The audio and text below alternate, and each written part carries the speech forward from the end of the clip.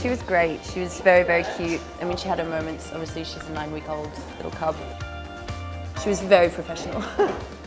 this is Queen Bee's rookie first photo shoot. Her father was actually born at my facility about seven years ago.